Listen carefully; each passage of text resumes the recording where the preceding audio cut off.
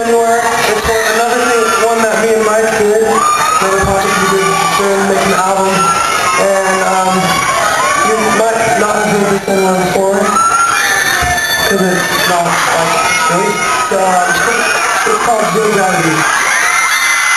That